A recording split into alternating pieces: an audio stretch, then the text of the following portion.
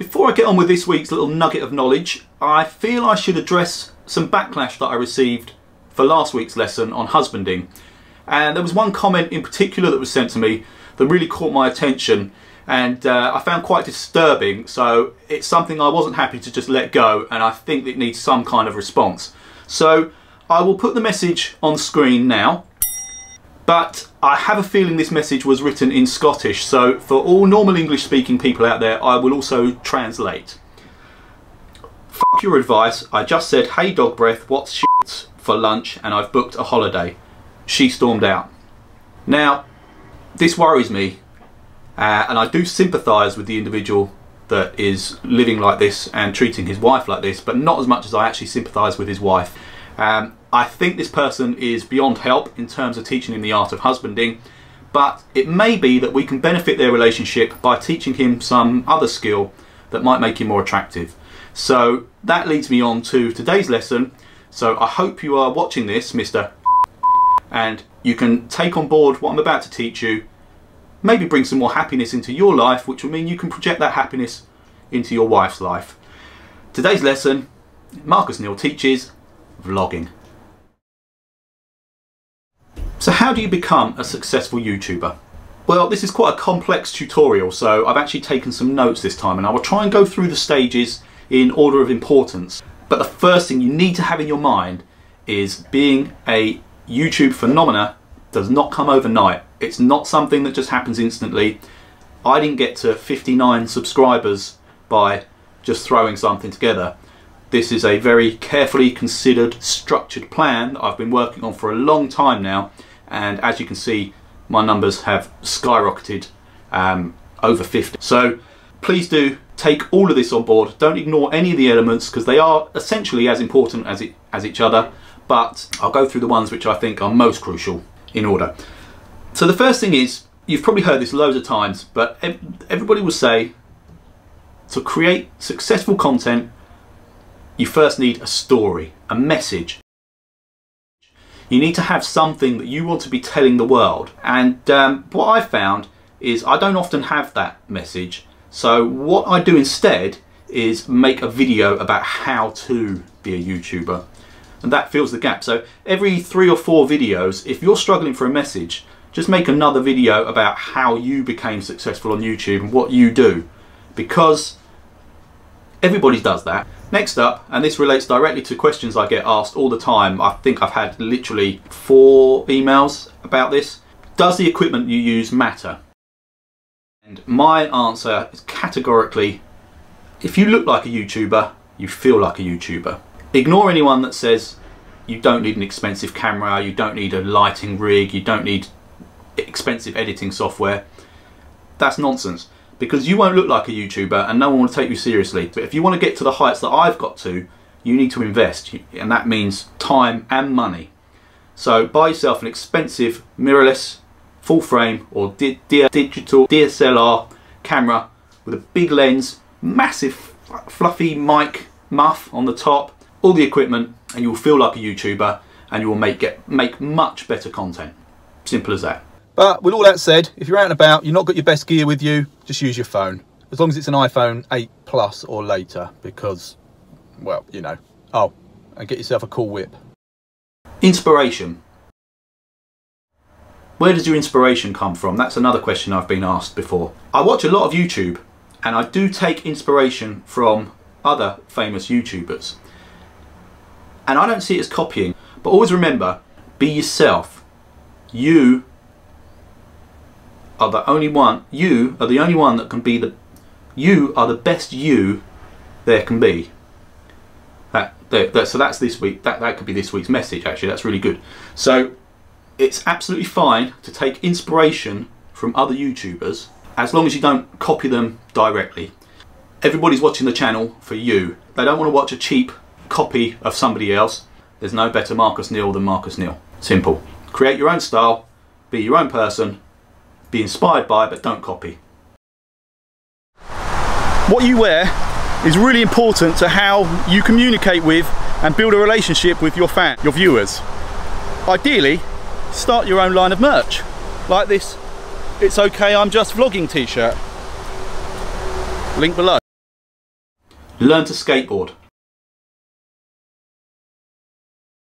How you edit your video is as important as the content itself. Editing is everything. If you've done the first step and bought all the right equipment and the right editing software, then you have all these tools to play with. Don't be afraid to play with them. Use all of them. They're there. There's no point in having them if you're not going to use them. Effects, everything you've got, chuck it in there. Make the most of it. All you're going to do is make your production look more professional with the more effects and the more editing tricks you throw at it. Drone shots. Everyone loves a drone shot. Even better, drone shot of you on your skateboard having learnt how to skateboard. Slow motion. These things are all called B-roll, I've just recently learned.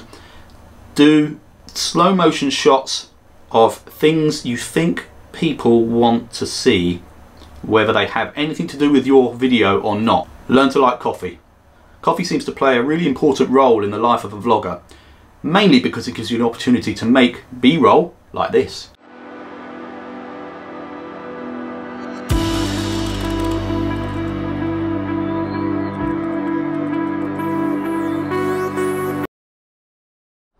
There's a very well-known saying that I made up that goes something like this.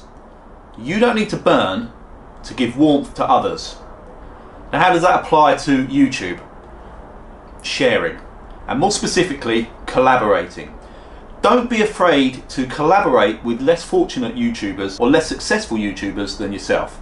Don't see them piggybacking off your success as a negative on you. You're not going to lose subscribers just because you've gifted them subscribers. And the sense of satisfaction of helping the less fortunate is something that will stay with you for a long time. Like this guy. This guy runs a channel called What's Up on WKG.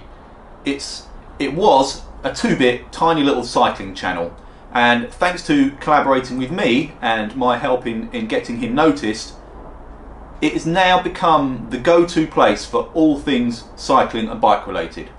Fashion, style, technology, racecraft, nutrition, training. Uh, it's not really my kind of thing, but it may be of interest to you, so I'll link below. Go and check him out. Yeah, you can go. The language you use is very important. Remember, your YouTube channel is a means of communication with an audience. You want to build a relationship with these people and most YouTube viewers are as young as most YouTube vloggers. So try and get into the mind of your viewers, use language that's relevant to them. I'm old school, so my slang consists of words like cool, wicked, dude, that kind of stuff.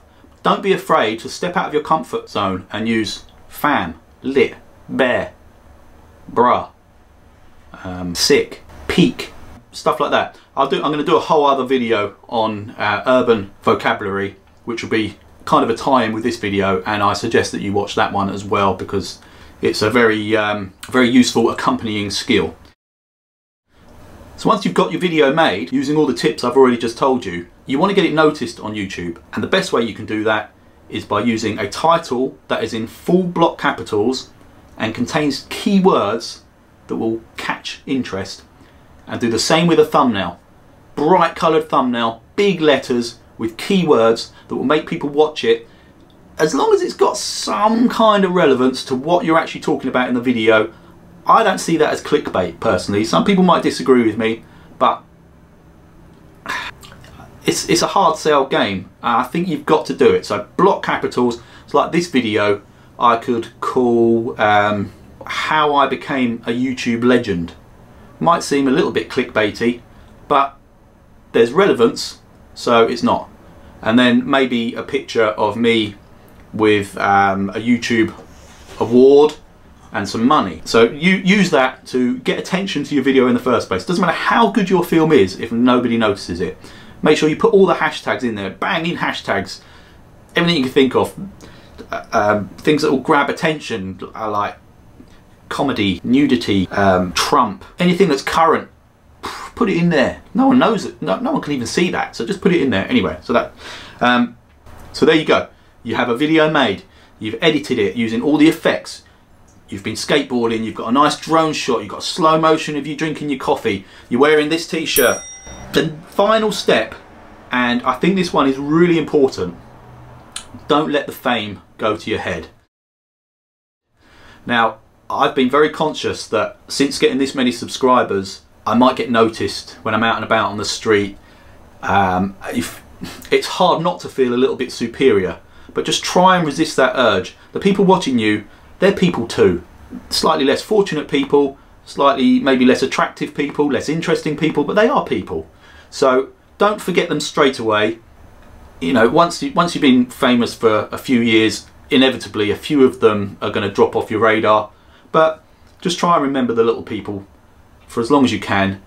That humility will come across in your videos and will probably bring in more friends to replace the ones that you've you've sort of ignored anyway. Um, but yeah, so just try and hold on to that little bit of your, your roots, where you came from and why you started doing this in the first place. Um, so once again, I'm very happy to, um, to help. Uh, I hope this is of use to many, many of you and in particular Mr. so that he can apply these skills, make himself a more rounded, happy, attractive individual and um, it's kind of a double lesson because this could potentially repair his marriage as well. One final tip, and this is super important. Always, always end your videos like this.